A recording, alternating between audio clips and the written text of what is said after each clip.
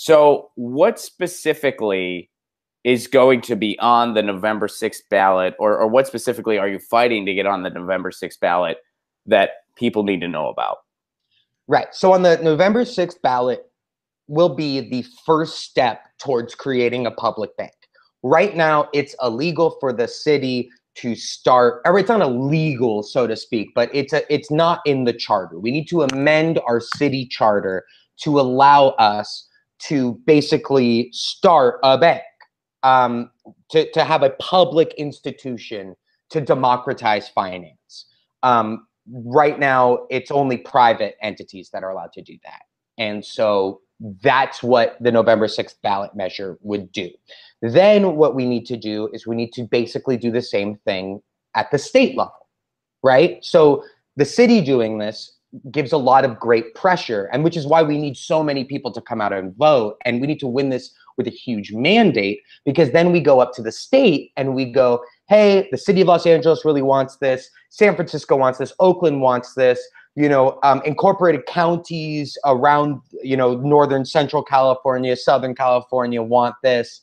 Um, let's let's do it allow us to do this and we are being very very careful to not allow us to get sandbagged by corporate democrats that's why we're not trying to do a big state bank, which there have been movements for state banks in California. I believe Jerry Brown vetoed one of them. I'm sure um, he did. I'd right? be shocked if he didn't.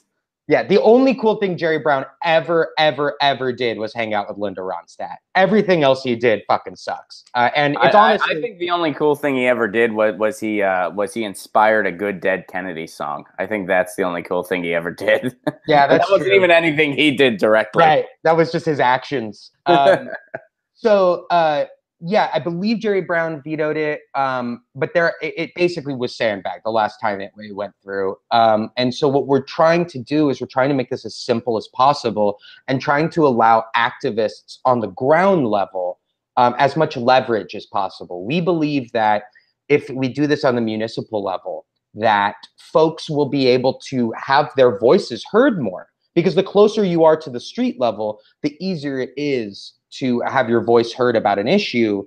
Um, and not all of us can get up to Sacramento. You know, there's a right. lot more lobbyists in Sacramento than there are in your local city council building. Well, no, I mean, I'm doing something similar with municipal internet. Like, I'm trying to do something very similar with municipal internet, uh, specifically here where I live in Pasadena, and then, you know, uh, branching it out to other parts of Southern California as well. Mm-hmm. And, uh, you know, I don't know what type of red tape may exist in the charter. We haven't gotten that far yet, but um, other cities have seen that where the city has uh, you know specific things in their charter in regards to only private companies can build right. internet infrastructure. So going on that, uh, and maybe this is a very obvious question. I apologize if it is, but um, is the content in our city charter was that preemptive measures on behalf of the banks? Um, I don't know. I don't know what the the preemptive measures were because um, I mean I don't know when the charter specifically stated this. Like I don't know if it was an sure. amendment that did this or not. Um, uh, from what I've gathered, this isn't like a new thing that we're undoing. I think it was it's a very old thing, but that just shows how deeply entwined you know the profiteers are with our public goods like with the internet you know that's fucking bullshit that mm-hmm. you know we've we've seen time and time again that privatization only benefits the rich. You know if you want if you want a story of los angeles privatization take a look at our parking tickets. Right now uh, the our, our parking enforcement has been leased out to xerox the copy machine company.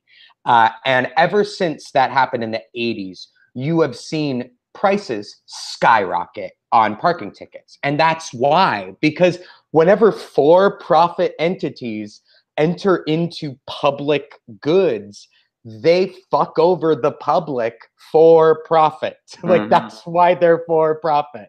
So, yeah, go go to Flint, ask them how their water's doing. Exactly. Yeah, mm-hmm. yes, exactly. And so we're just trying to, you know, money is a public utility like people don't really think about that that much. When you think of money you think of wealth like scrooge mcduck's vault or whatever but money is just how we as a country store value. And and it's It's for all of us. And there's no reason why, you know, six pasty bald dudes in New York are uh, profiting off of our entire system, you know, and and meanwhile, you know, we've got the worst homelessness epidemic since the Great Depression happening, you know, on every street in Los Angeles. Get your news on with Rhonda. Do you want to know what's going on? We're getting our news on today. Get your news on with Rhonda. Do you want to know what's going on? We're getting our news on today. Yeah, yeah, yeah. You can tweet me an article together and make it our own. Get your news on.